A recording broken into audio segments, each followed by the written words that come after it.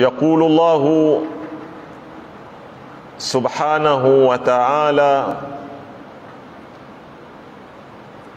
يوم ندعو كل أناس بإمامهم. فمن أوتي كتابه بيمينه فأولئك يقرؤون كتابهم ولا يظلمون فتيلا. waman kana fi hadhihi a'ma fahuwa fil akhirati a'ma wa adallu sabila. Sadaqa llahu laliyu azim Ndugu zangu, leo twataka kuingia kwa uwezo wa Mwenyezi Mungu subhanahu wa taala katika neno la nne katika maneno yaliyotumika na qurani kuhusu uongozi. Nalo ni neno la imama. Lakini kwa dhiki ya wakati yana nilikuwa nikizungumza zigawanyo ama ziwango za rushdi. Na tukanena kwamba rushdi iko katika ziwango zitatu. Na ni lazima itanganye katika pembe hizi tatu. Na haijalishi kukosekana kwenye kiwango ikawa ni hoja kwetu kuipoteza katika ziwango zingine. Mfano niliwaambia ya kwanza ni arushdu suluki au alfardi ni ile ya kibinafsi. Mtu na nafsi yake. Akailea akajipanga akaiwekea mwongozo katika kujenga utu wake na mpaka akastahiki kuamkuliwa ni rajulun rashid ambacho ni kitu chawezekana kwa asilimia kubwa. Pili ni jamii kwa maana yake yoyote pana au ndogo. Jamii yaanza familia jamii yaweza kuwa ni mtaa jamii yaweza kuwa ni kijiji jamii yaweza kuwa ni mui jamii yaweza kuwa ni watu wa aina fulani na jana nimezungumza zile alama zinazokuonyesha hii jamii ni rashid ama si rashidi ya tatu ndio alikuwa tumesimama jana yawaita ni arushdu lidari au arushdu lqiyadi sasa. Ni kumiliki ukomavu kama tasihi tulifasiri neno rushdi kwa maana ya kukomaa katika nyanja za kiuongozi. Watu wakaweza kutoka katika rushdi ya mtu binafsi ya mtu mmoja ikapanda ikawa ni tabia ya watu wote katika ile jamii. Jamii inapokuwa na rushdi automatic itakwenda kwenye kiwango cha tatu cha nini? Cha uongozi.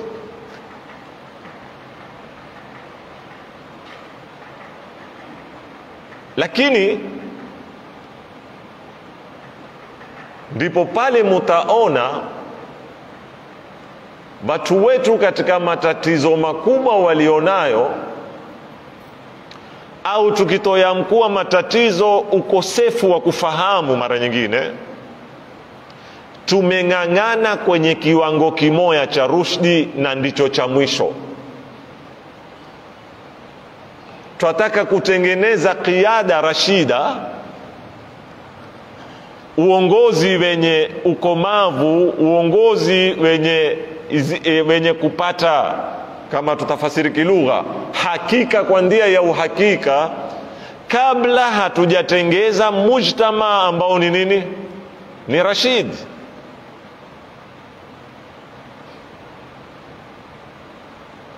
Na hatuwezi kutengeneza mujtama ambayo ni rashid kabla hatujatengeneza afrad watu ambao wana sifa ya nini?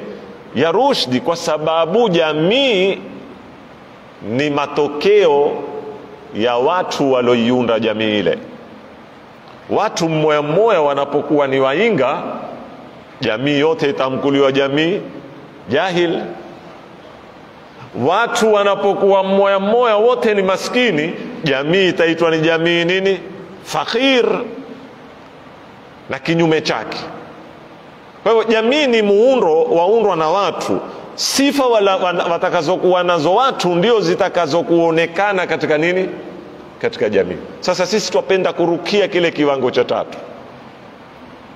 Na mara nyingine kiwango hiki cha tatu si kitu rahisi kukipata. Kwa sababu kuna mchango wa ziungo zingi zinaosababisha tusiweze kumiliki uongozi tunaoutaka hapa napenda munisikilize vizuri sana. Yaweza kuwa sisi kama watu tumeamua tunataka uongozi wa aina hii. Lakini sisi twaishi katika hii ardhi. Twaishi katika hii nchi. Twaishi katika hii jamii. Kuna dhaghtu nidham. Mfano system ya kubali ama haikubali mazingira ya kubali ama hayakubali. Si masala tu ya fulani na fulani kuamua kwamba litakuwa. Kuna nguvu nyingi za teza. Mara nyingine kusababisha sisi kukosa uongozi tunavyoutaka ikiwemo moja ni sababu yetu wenyewe ya kindani lakini sio sababu yake peke yake sasa hapa ndipo nataka kuwafahamisha kitu ambacho juzi nyuma nilikizungumza. Ndio utakuta kuna baadhi ya makabila au baadhi ya makundi walipoona wameshindwa kusikilia kwenye arushdul qiyadi sikilizani vizuri sana hapa walitumia arushdul ijtimai kutatua matatizo yao ya arushdul qiyadi. Na haya mambo nitawapa mifano ulaya hivi sasa na kabla ya sasa na nitawapa mifano kwetu kenya. Mathalan leo watu wamesafiri wamekwenda ulaya. Kuhama kwa sababu nyingi kuna watu wametoka kwenye nchi, zao kwa sababu ya kunyanyaswa na kukimbia e, kuzoroteshwa mambo yao. Kuna watu wametoka kwa ajili ya maisha na kutafuta makazi. Almuhimu wamekwenda kule ni faransa ni, ni, ni ujerumani ni amerika ni uingereza patakapokuwa mkishtuka kule mmekwenda kujikuta muko kama nyinyi kama watu mia mbili. Hamkupangana mwendao kule lakini mulipofika kule mumejikuta muko kama watu mia ngapi? Mia mbili kama nyinyi.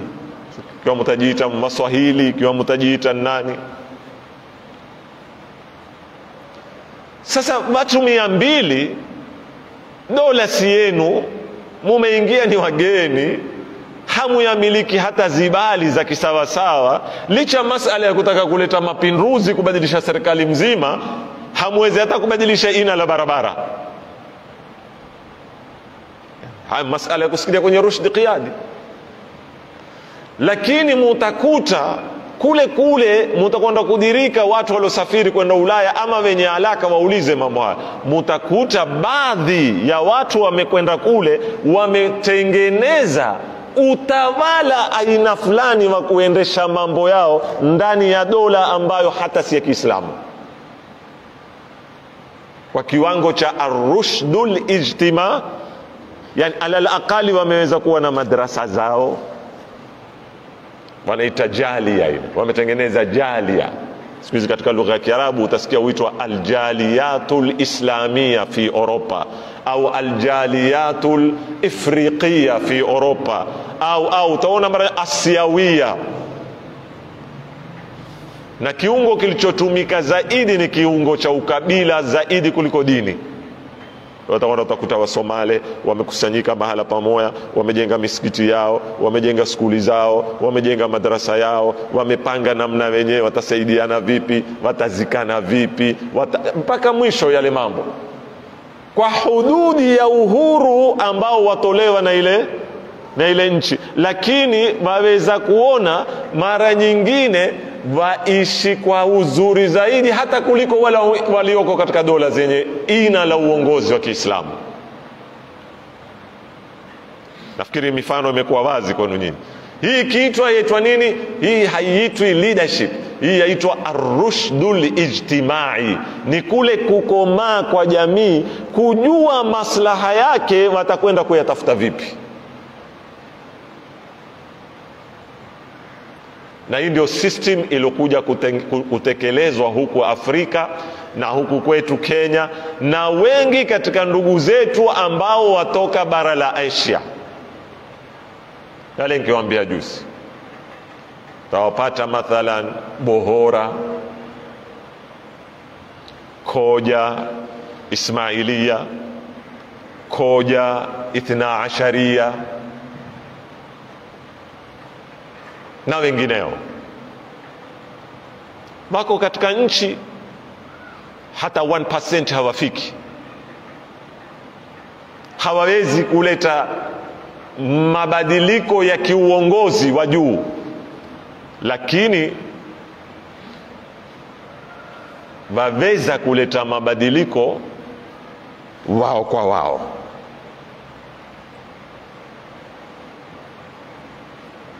Juzi kuna rafiki yangu mmoja anaambia Nairobi kule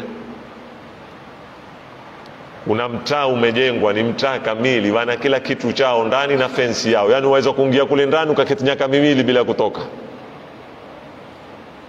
Waweza kuingia ndani ya ile huitwaje zile kama state miaka miwili. Usitoke nde, na hakuna kitakupungukia kwa kukitaka ujende. Hakuna. Wewe na, na, na vijana zako kila yani wajua maana hakuna kitakumu hata skuli hata university hata mall hata kila kitu. Hakuna sababu yote itakufanya uruke ule ukuta kuya nde kuzengia kitu kule ndani hakuna. Bohora. Nasemekana nyaka kadhaa mombasa cement ilikuwa haiuzi simiti humimina hoko ni project ya billions za pesa. Project ya nani? Ya bohora. Ndani kuna hospitali ndani kuna sijui kadhaa ndani nenda, nenda mpaka mwisho. Kila ukifikiriacho wewe waweza kukihitaji katika maisha yao kimo. Watu wachache lakini kwa nini wameweza kufanya vile? Kwa sababu wamefika kwenye arushdul ijtima ijtimai. Taki nirefushe sana. Sasa nataka kuwaambia watu wasing'ang'ane sana. Tunataka president. Tunataka kubadilisha serikali. Twataka sijui tuwe na gavana ndio tuweze sisi kuwa na skuli zetu. Ndio tuweze sisi kuwa sijui na, na, na maendeleo yetu. Ndio ah, ah. Sitaki kunena si muhimu pale. Nataka nieleweke vizuri sana. Lakini pakishindikana tumepoteza nyaka thalathini huzengea kubadilisha serikali. Kwa nini hatupotezi nyaka kumi kutengeneza jamii ambayo tutaweza kuendesha mambo yetu sisi wenyewe? Takala. najua majibu yatakuwa ah, yatawezekana hayo. Kwa nini hakuyawezekana ndo utakuta moja katika dalili ya kukosa rushdi ni watu kuwa hawendi mpaka kwa mboko. Ni moja katika dalili. Mboko nakusudia mimi hapa si batri mboko nakusudia mimi mkono wa serikali ambao wakulazimisha vaani maski mtavaa nyote hakuna ruhusa ya kutoka saa kumi na mbili hakuna ruhusa ya kutoka. Mwambia mtu mbona utoke ah, polisi tatushika lakini mfano hivi kesho mkaambiwa na viongozi wenu tangu kesho musinwe maziwa. Mutakunwa ama hamtakunwa? Lakini hakuna polisi. Hakuna polisi. Hakuna kushikwa. Hakuna faini lakini kuna malengo fulani ya kisiasa tutaka kuyafikia. Hiyo ndo rushdi na ndio utawaona watu wanaofaulu katika wanapopanga mambo yao kuendelea ni wale ambao hawahitaji mkono wa nguvu wa serikali kuingilia mambo yao. Waweza wao wenyewe kwa kukomaa kwao kifikra wakaendelea ndani. Na wewe usiue kamwe kule ndani kwamba kuna kitu gani. Lakini niwape mfano leo angalieni. Nchi zote zina baraza la kiislamu moya takriban. Majlisul islami. Na pakiweko mmeona mimi libnani yapo yapo mabaraza mawili matatu. Yamegawanywa kwa sababu katiba ya kilibnani imejengwa kidini na kimadhahabi. Katiba yenyewe. Katiba yenyewe yote ya kilibnani imewekwa kiudini na kimadhahabi. Yani mfano katika mfano hawezi kuwa president libnani mpaka mkristo asokuwa mkristo katiba haimruhusu kupigania cheo kile. Hawezi kuwa prime minister libnani mpaka msuni. Muislamu msuni. Asokuwa muislamu msuni hawezi kikatiba na lau atasimama aweza kupelekwa kotini kabatilishwa. Katiba imesema hapa mahala lazima pawe muislamu msuni. Spika wa bunge hawezi libnani kuwapigania cheo cha spika wa bunge mpaka muislamu mshia muithnashari na hivyo hivyo ukishuka zeo za jeshi. Mkubwa wa jeshi ni mkristo. Mkubwa wa cid ni msuni mkubwa wa special branch sijui kadhaa mpaka portion ya, ya idadi ya wabunge na wabunge mia nafikiri na ishirini wamegawanywa munasafa. Sitini ni wakristo sitini ni nani hivyo imeshuka mpaka mfanyikazi ofisi messenger. Sasa mpaka mabaraza yale kuna almajlisu lislami assunni kuna na almajlisu lislami ashii kuna na almajlisu lislam kiwatakuwa ni waislam aduruzi maduruzi pia wako. Kule nimeona. Lakini kulikobakia kote baraza ni moja tu tanzania kuna bakwatwa halina, hal, halina rangi wala halihitaji kwamba we madhhabi gani na gani hala niangalie kutoka ufahamu mpaka leo zama za kiislamu zimesikilia zingapi kenya?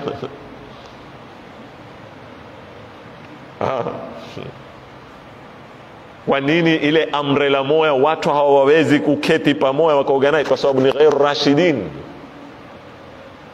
Na watu wasiokuwa rashidina siku zote sharti wakiwe mtu na bahati. Kama chuoni.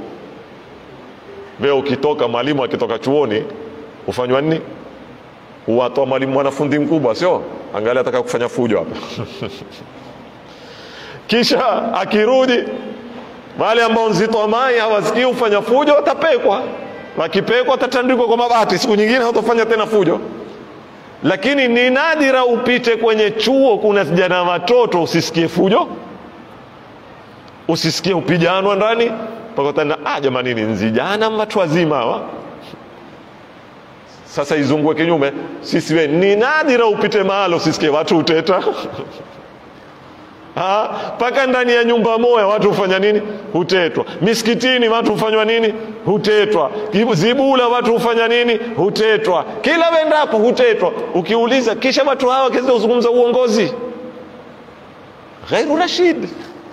Ndo irushd na minal alasaf utakuta ukisikia watu wetu walioko kule ulaya akwambia wamekuya sijui wasomali wametengeneza organization zao. Sijui wamekuya kadhaa. Ehe na nyinyi kwambia ustadhi sisi yale yale ya kwetu yako huko.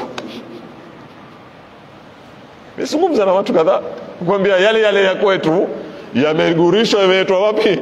Yameetwa huku. Ndio siku ile nikawaambia kuweta nidhamu haitoshi kubadilika kuzungumza kizungu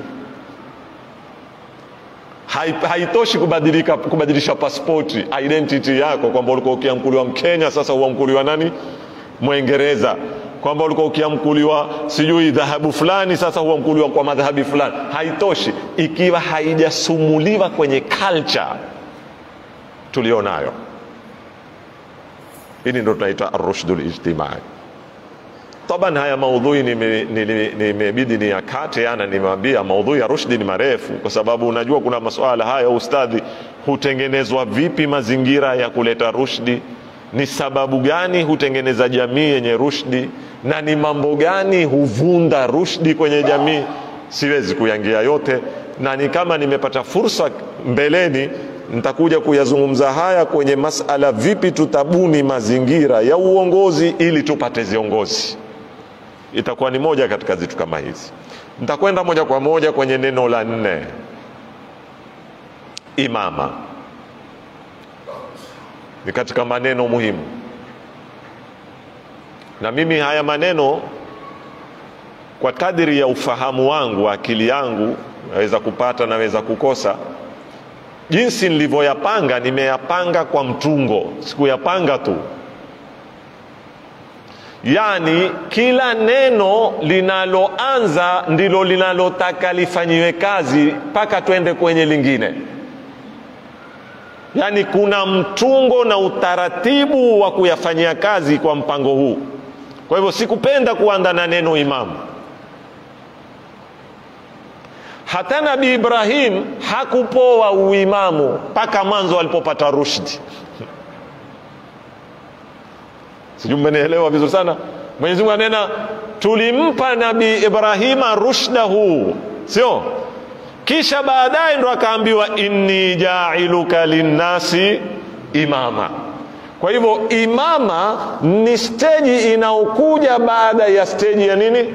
Ya rushdi, na rushdi ni steji inaokuja baada ya steji ya kuweko nini? Shahada, na shahada ni steji inaokuja baada ya kuweko nini? Khilafa. Ya kwanza aloanda nayo Mwenyezi Mungu ni nini? khilafa. Inni jailu, ja'iluka jailu linnasi au inni jailu fil ardi khalifa. Mwanzo yo hutuumba. Waidh qala rabbuka lilmalaikati inni jailun fil ardi khalifa. Khilafa kwa maana pana wanadamu wakishakufahamu wote kwamba wao wana dauri katika hii ardhi si masala ya kutupiana majukumu bali ni kila mtu atekeleze jukumu lake, wataanza kutembea.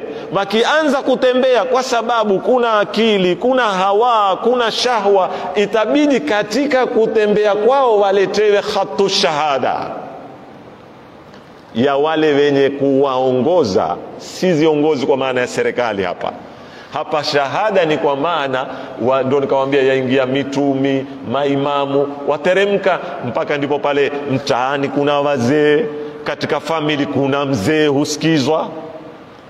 Tumetatizwa tatizwa na mambo. Mara nyingi sisi wankuliana kwenye kuoa tu kwenye mambo haya. Kisha kuoa tulwa mbali. Wewe utasikia ni mtu mzima kwenye famili siku kupeka posa. Sikia sasa taka kupekwe posa. Sasa azengewe nani? Ah fulani sasa taka wendo kampeke posa ukijana chetu wajua wewe ndo mzee wetu wewe ndio kadhaa siku ile utapigwa maneno mpaka ushike adabu yako. Basi uangate jukumu utoke wendo ukapeke maneno. Ukimaliza kupeka maneno ukirudi kazi yako imekwisha. Siku moya niwatole kisa cha kutekesha tu kimoya kimenipata mimi. Ikifanya kwa dhihaka tu. Sitaki kutaja hiyo. Jamaa rafiki yangu sana sana. Manake na hakika katika watu wanaonipenda aweza mpaka kutoa ruhu yake na akavana kwa sababu tu pangine mahala mmezungumzwa mimi makosa. Na hakika kitu kama hicho. Ni mtu kidogo e, mustawa wa, wa ufahamu wake si mkubwa. Sasa hii voti iliyopita hii tuketizie hula mtana. E, mimi napenda kumfanyia dhihaka. Kamwambia fulani mara hii mtaka kura yako. Naambia utakuifanyia nini kura yangu? Kamwambia kuna mtu mimi humuunga mkono nitaka ufanye nini? Umvoti naambia haya si mambo ya swafa naambia haya si mambo ya swafa bana wewe naambia kama kuna mambo ya swafaa, mimi hata kama kuya kukesha siku kumi nitakuya kukesha huko, lakini haya mambo ah, sinitie mambo haya senti unazo senti unazo. Kaambia senti tapata tapata takuzengelea lakini angalia ni kwamba yeye aeleza ufahamu wa watu wengi hapa. Watu wengi wewe ni kiongozi wakati yeye anakuhitaji kwa nini? Kwa lake. Au kuna mahala atakabuldoza au au endelea mpaka mwisho. Lakini yakija mambo kwamba hapa sasa wataka kutoa uamuzi kweli wewe utasikia wewe mpaka utaambiwa bwana usiingilie mambo hayo kuhusu wewe. Taambiwa kabisa. Sasa shahada nimenena ni maana ya hudhur kama nafikiri kizungu nasema kuwa present sio? Yani present saa zote hawa watu waweko katika details za maisha yetu ndio utakuta ile ziko baadhi ya familia sitaki kuwanyima haki zao. Kidogo mbao zamani kwa watu wote. Ziko baadhi ya familia bado zinao hunu mwongozi kuna watu wazima. Kuna watu waweza kunena ni hivi na yakamalizwa ni hivyo.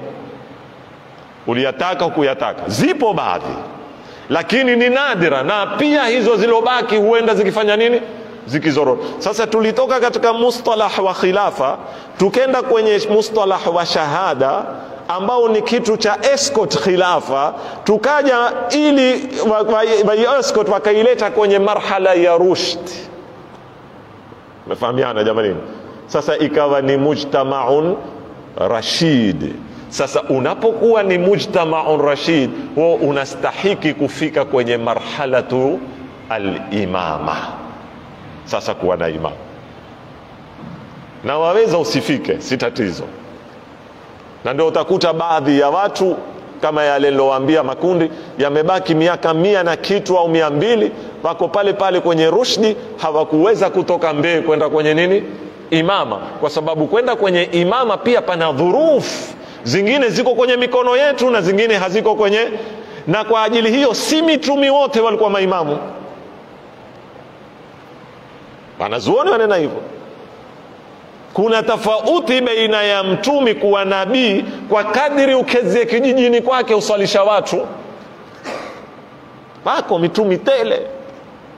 Wale walikuwa ambia ametumwa kwa kabila lake peke yake ametumwa kwa ukoo wake peke yake uwaongoza uwafundisha akhlaqi ya kinini ukiwaangalia mitumi waliotoka katika fadhaul alam wakashikilia waka marhala ya kuongoza ni wachache sana.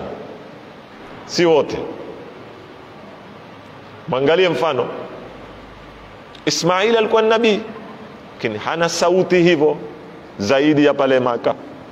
Ishaqa hivyo hivyo yaqubu hivyo hivyo hivyo. Lakini ndo kwa Nabii allah yusuf. Utaona steji alokwenda nabi allah yusuf ilikuwa ni tofauti na Yakubu babake na mababu zake ishaqa na ismail. Mpaka akatoka kwenye mipaka ya kanaan akavuka mpaka akaenda kwenye masri dola wakati ule ilipokuwa super power na mpaka akaingia akaongoza umma ulimwenguni. Tofauti mwangalie nabi allahi suleiman utamwona hakutosheka hakubaki. Lakini utakuta kuna baadhi ya ambia walitumwa kwenye zijiji. Zijiji bado zidogo. Watu hawayawa tayari kutukua majukumu ya uimamu si ule mtumi. Uimamu lazima na walioko nyuma ni nani? Hili ni kitu muhimu sana. Na ndio kuna fikra moya ya kimadhahabi lakini watu wapenda kuitilia kasumba mara nyingi. Utakuta baadhi ya riwayat yasema kwamba imam mahdi ili adhihiri moja katika sababu zinazongojewa ama zinazotakikana ni watu kwa idadi ya wapiganaji ya zita za badr. Wapiganaji wa zita za badri ni wangapi thalathamia wa talatashar sio? Mia tatu na kumi na tatu. Sasa jamaa mara ingine upenda kufanya stihizai kwamba eh, hamuyatimu mpaka yo watu mia tatu na kumi na tatu. Si watu baba. Wewe wataka kufikiri kuendesha ulimwengu utaendesha kwa tasbihi. Ha? Haiendeshi kwa tasbihi na, na nabii Allah Suleimani ilikuwa ni masala ya nadira, mpaka upepo ukimsikiza yeye, mpaka nyuni wakimsikiza yeye, mpaka majabali yakimsikiza yeye. Ni, yale yalikuwa ni masala hasa na mwenyewe alimwambia ya Rabbi, nipa mulki, hautakuwa baada yangu na mulki hono mtu mwingine yoyote, mulki mpaka wa kutumikiwa na ndege na nini. Kwataka watu wa kuendesha ulimwengu watu ambao watafika kwenye marhala ya daraja watakuwa ni kama nafsi yake Imam Mahdi, kama alivyokuwa Imam Ali kwa mtumi. Qurani ikanena wa anfusana wa anfusakum, kama alivyokuwa Malikul Ashtar Malikul Ashtar katika wafuasi wa Imam Ali alipoulizwa siku moja Imam Ali, wamtathmini vipi Malikul Ashtar? Akanena, innahu kana li kama kuntu li rasulillah. Subhanallah, kana li kama kuntu, Malik alivyokuwa kwangu ni kama mimi nilivyokuwa kwa mtumi mpaka ikafika wakati lala kitandani, utakuya kuuawa, mi ntoke lala, fanya kadha lala. Na Malik alisikilia wakati aambiwalo na Imam Ali, hakuna kuzunguka huku wala huku. Malik ni Malik, mayu wajuzi niliwaambia, ni katika makomanda wakubwa sana, na alikuwa ni mtu wa kisawasawa. Na ni strategical commander, si mambo ya kawaida lakini mwenyewe Imam Ali asema mkitaka kumjua Maliki lugha fupi ni hii, kana li kama kuntu li rasulillah. Sasa haya ni masala ya, ya, ya, ya steji kubwa, na ndio utakuta Nabii Allahi Ibrahim Mwenyezi Mungu atuambiaje? Hebu tuisomeni pamoja hii aya, wa idhibtala ibrahima rabbuhu bikalimatin faatammahunna qala inni jailuka linnasi imama qala wa min dhurriyyati qala la yanalu ahdi aldhalimin. Nini maana ya imamu? Ama ina maana ya alqasd. Alimamu min alam walamu huwa alqasdu fi lugha, ni kukusudia. Ndio ile tayammum pia imetokamana na neno hili, kukusudia, kuelekea. Kama wewe unapoelekea kibula, umekikusudia kibula, ndio maana ya kilugha moya na kila anayekaa mbee watu wakamfuata nyuma huambiwa itamu bihi, wamemfuata. Sasa neno imam litukuzie zitu zitatu muhimu sana, mwataka muzielewe katika element za leadership. Sasa kwanza, kuna aliyokalia mbee anaitwa imam kisha kuna na walioko nyuma wanaoitwa nani? Maamuma. Kisha kuna na kufuata, sikuketi nyuma tu. Naweza kuambiwa tu tuko nyuma yako, lakini hatukufuati. Kuna tofauti ya kuswali nyuma ya mtu, lakini akirukuu we usujudu, akisujudu we ufanya nini? husoma tashahud. Ni maamum, uko nyuma ni lazima kuwe na kukalia mbee na kuwa na nyuma na kuwa na kitu huitwa itibaa, ndio hiyo itama. Qul in kuntum tuhibbuna Allaha fattabiuni. ne zile lawambia ziungo za nini za leadership. Sasa na ni qiada si sauk haketi nyuma kusukuma watu hukalia mbee akatembea, watu wakaenda kwa khiari yao wakafuata nyuma. Na mfano mchache wa imamu ni imamu wa sala. Sala ya jamaa wakuliwa nani ule aketiombe? Imamu. Na wale waketio nyuma huitwa nani? Maamum. Na lile tendo lenyewe huitwaje? Itimamu yani kufuata itibaa.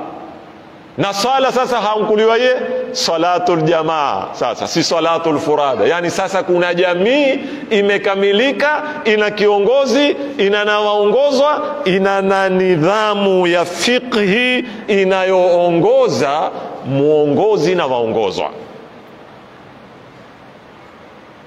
zile sharuti tuziwao tangu namna ya kusimama mpaka kupiga swafu na nini mambo mayayua stakini ya kariri mwenyezi mungu subhanahu wa taala atwambia katika qurani ukipeleleza aya maimamu wako aina mbili.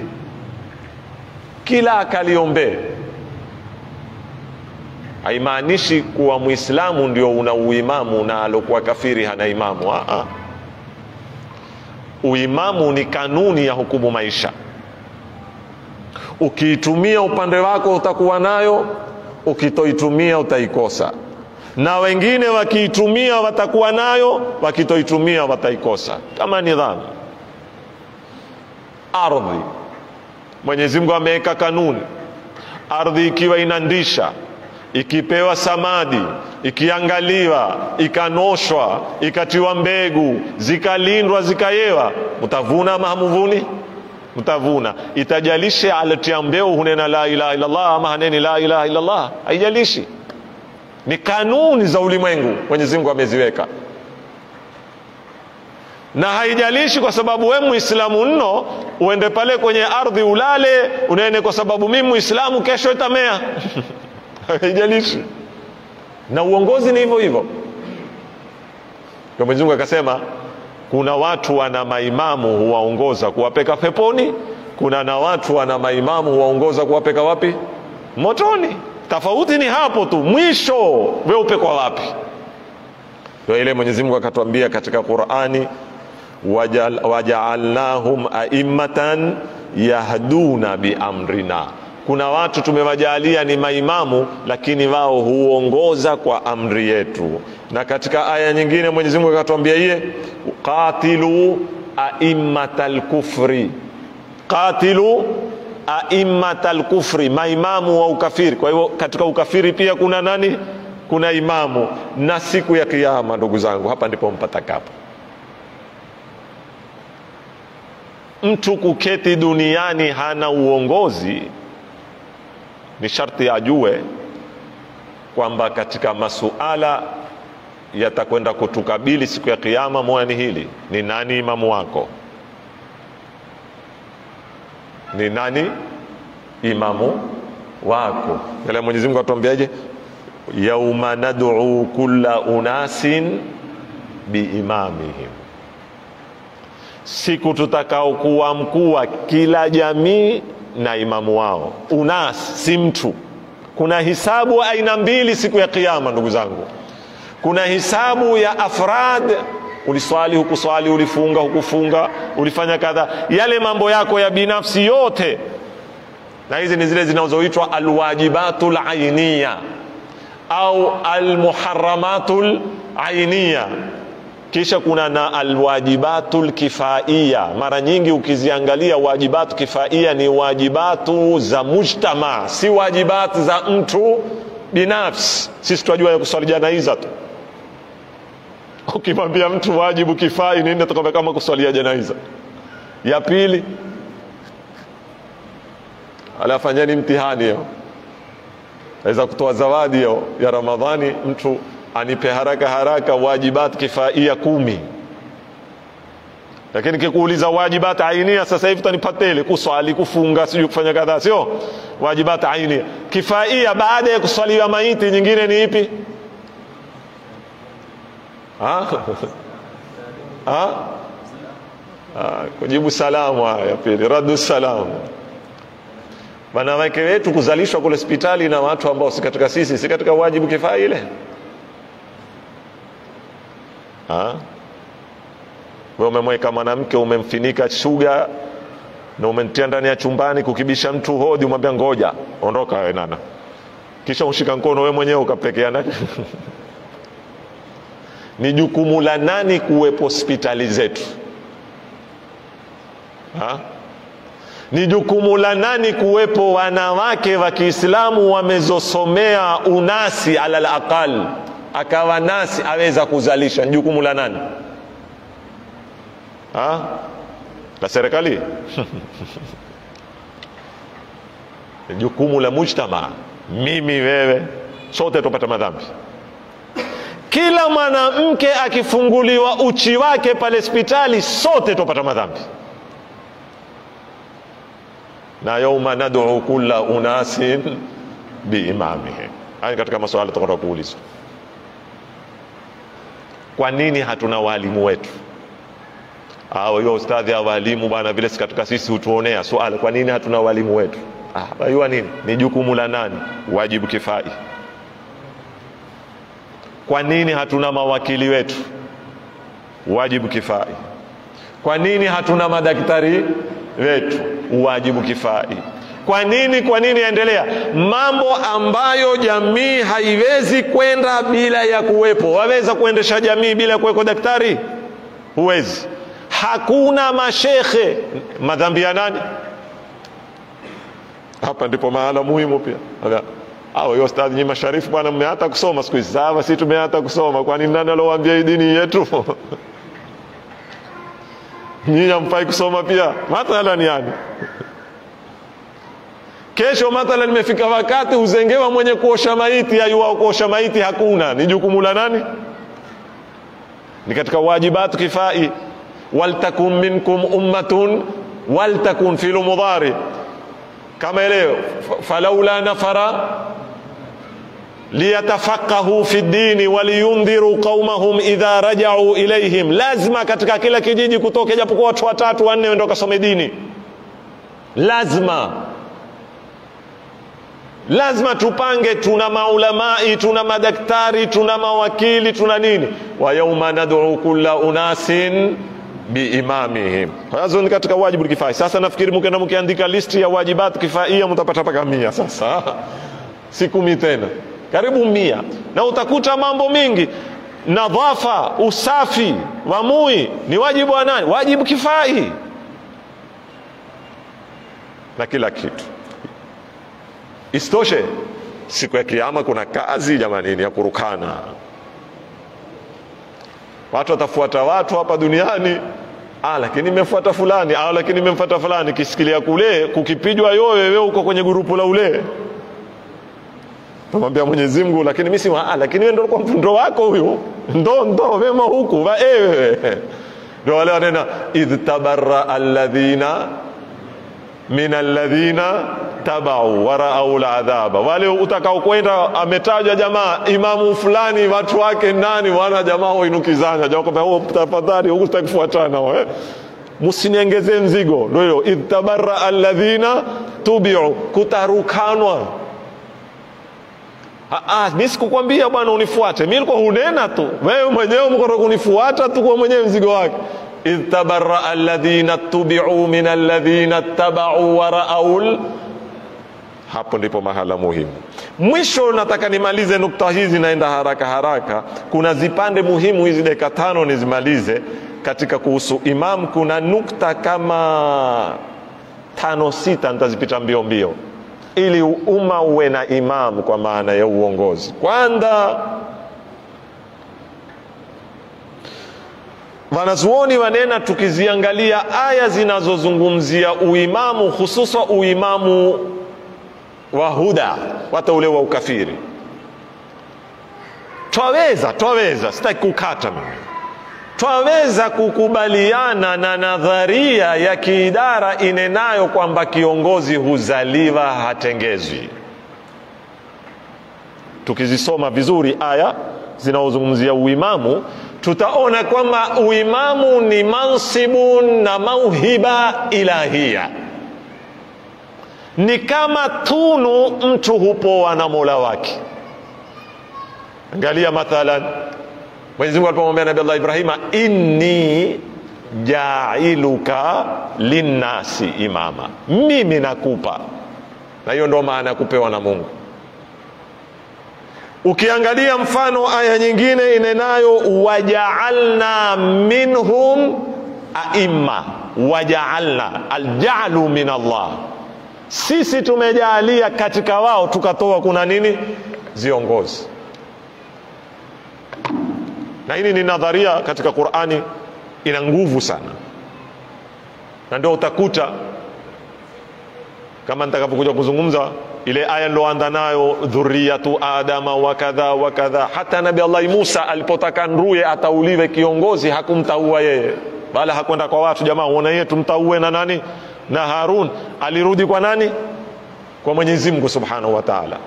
Akamwambia wajal li waziran min ahli. Hili ni nukta muhimu sana. Lakini mimi siko huko zaidi yu kwenye uimamu wa, wa manabii. Uongozi mara nyingine au mara nyingi na nitakuja kuyajibu masala haya na nataka kuwatanabahisha zitu muhimu sana katika jamii ni kama tunu ni kama kipaji kama kuchora. Chamuona mchoraji we?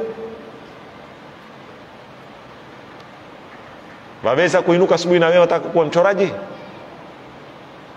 Utakuwa lakini utatukua long long time. Shai kumwona mtu ni qari sauti yake mzuri toaji nashid ndo tukuwe na sauti kama langu sasa nami lazima nataka kuwa nani? Kuwa kare hapa ndipo mahala nini sasa ni nini? Ni muhimu mara nyingi tuangalieni katika jamii watu ambao zipaji za kuongoza wanazo moja ni hii. Na nitakuja kuyazungumza katika vipi tutatengeneza mazingira. Mmoja katika wataalamu asema we umeona wale makocha wakija kutagua player naona nafikiri wako watu hapa ambao wamehusika na mambo haya. Atakuja atasimama tu pale uwandani.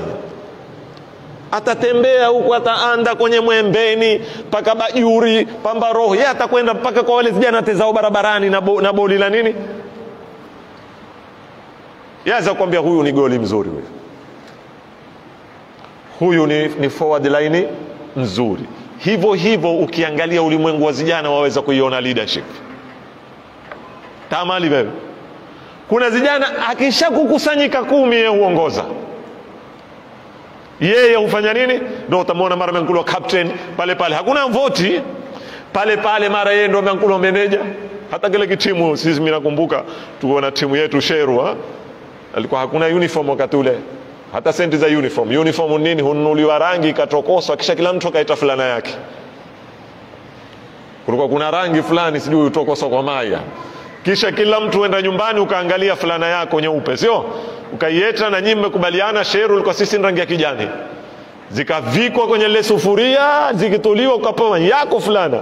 Lakini pale pale tulikuwa tuna jamaa mmoja sitaki kumtaja jina namkumbuka mpaka sasa. Ndo alikuwa meneja wetu. Alikiua mpaka namna ya kuzizengea zile senti za kununua ile rangi. Maanake wakati ule hakuna mpango shekhe. Si yeo. Alikizitoa wapi? Sijui. Lakini kilikuwa kihodari kuorganize yule alikuwa ni lida sasa nukta ya kwanza tunaipata kwenye imamu kwamba alimamatu mansibun wa mauhiba ilahia. Lakini pamoja na kwamba ni tunu ya mwenyezi mungu lakini yahitaji na jihadi aina fulani kwa yule mwenye kupewa tunu ile. Waila waweza kuwa waweza kuwaona watu tunu wanayo wameipoteza ndipo pale mwenyezi mungu akatuonesha kuna mambo atiwe kwenye mitihani atiwe kwenye misukosuko ajaribu kujaribiwa aonekane vipi atapita mitihani ile. Slow slow. Sio muje tu leo mumtunde mmweke kitwani imewazamisha kwisha. Yule mwenyezi mungu anena hakumpa uimamu ibrahim mpaka akamtia kwenye mitihani kwanza. Waidh ibtala ibrahima rabbuhu tindemano sawa vunda masanamu umevunda. Tiwa motoni imetiwa. Fanya kadhaa. Amesukwasukwa mpaka amefika wakati mwenyezi mungu ambia ah, sasa kweli inni jailuka linnasi imama. Mimi nakujalia sasa uweze kuwaongoza watu na kunini. Sasa katika mambo haya ndugu zangu ni kuwa msafi mtu alal aqali kwa daraja ya uadilifu. Ndio nabii allah ibrahim alipopoa uimamu aliwaombea na wane. Wane si kwa maana wane wakuwazaa yani next generation. Akamwambia wa min dhurriyati, mwenyezi mungu akamwambia tawapa. Lakini wakiwa madhalimu hawabahatiki kupata nafasi ya uimamu. Mpaka hapa ndugu zangu nitatosheka na neno hili la imama na matarajio yangu kesho mungu akinipa uhai na uzima kwa na maneno kama manne matano yamebakia lakini nimesikilia nusu mwezi wa ramadhani na maneno muhimu yalikuwa ni haya manne si kwamba mengine si muhimu. Nitayatanganya kesho haraka haraka yale yaliyobakia kama almalik alwilaya assultan yamezungumzwa kwenye quran. Assultan atamkin na mengineyo nitayapita mbio mbio ili baada ya kesho nataka nende kwenye topic nyingine. Mwenyezi mungu akitupa uhai na uzima. Walhamdulillahi rabbil alamin